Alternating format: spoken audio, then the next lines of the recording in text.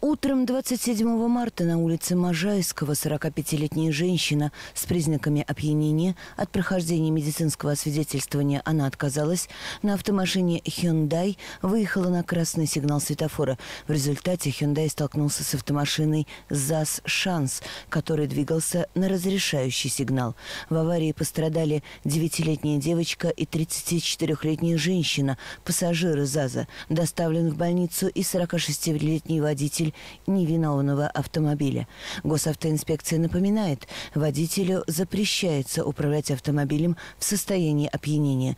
При движении на перекрестках водитель должен руководствоваться сигналами светофора или регулировщика, а при их отсутствии – знаками приоритета.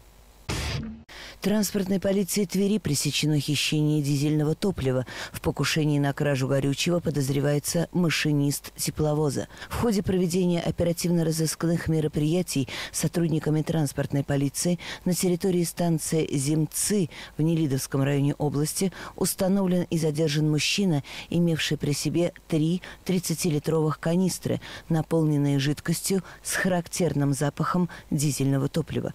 Установлено, что ранее судимый за кражу 38-летний машинист локомотивного депо «Ржевская» слил 90 литров дизельного топлива в заранее приготовленную тару. Похищенное железнодорожник намеревался использовать в личных целях, но не успел. В отношении задержанного в линейном отделе МВД России на станции Тверь возбуждено уголовное дело. Расследование продолжается.